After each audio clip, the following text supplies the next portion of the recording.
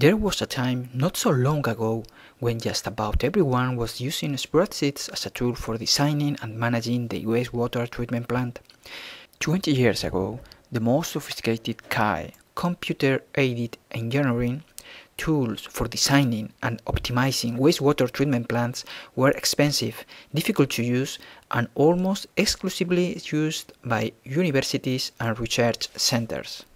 Nowadays, however, ever more versatile, sophisticated, and accommodating options for designing and managing plants are being developed.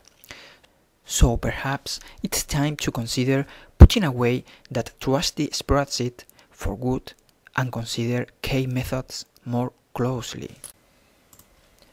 One particular free CAE tool Lynx ASM1 was developed in a task group by the company Lynx Simulations and is provided exclusively inside the online course of the Polytechnic University of Valencia, Spain, titled Practical Course of Wastewater Treatment Plant Modeling and Simulation ASM1.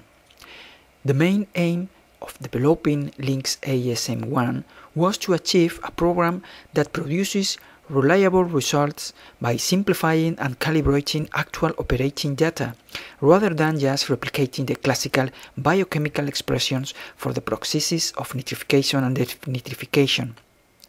In the Lynx ASM1 model, a major advantage is that the user is able to create his or her own specific operation scenario and to optimize it.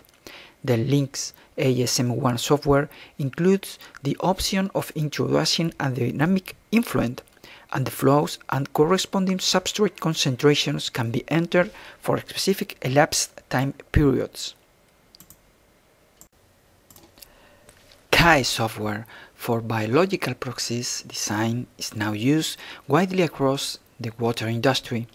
It has become increasingly accurate can be applied to a diverse number of processes and integrated with other key design aspects such as costs.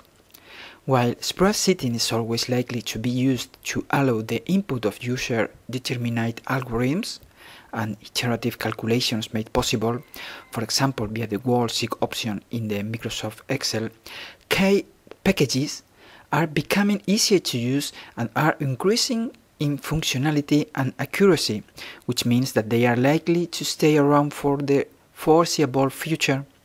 So it is finally time to say goodbye to your spreadsheet.